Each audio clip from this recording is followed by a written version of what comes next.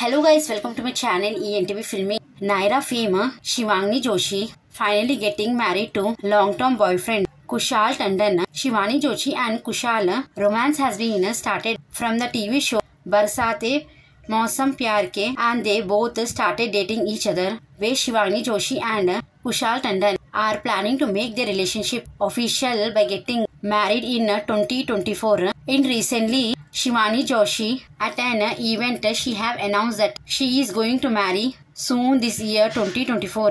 Even Shivangi Joshi expressed that as she has worked as Naira, ये रिश्ता क्या कहलाता है She have been never linked with any actor, but this time she has been linked with boyfriend Kushal Tandon and expressed that they both are dating each other and officially going to announce their marriage and soon to tie the knot in 2024 year ending. Meanwhile, Shivangi Joshi and Kushal Tandon both are in a vacation, enjoying their vacation on the hill mountains, having a romantic moments together before heading the relationship official as a married couple. Meanwhile, they are spending quality time with each other as Shivangi Joshi and Kushal Tandon on-screen chemistry soon to become as off-screen as a married couple in 2024 as Shivangi Joshi and Kushal Tandon soon to announce their marriage. Watch the complete video? Give a session commenting on this video. Please watch my channel, like, share and subscribe my channel.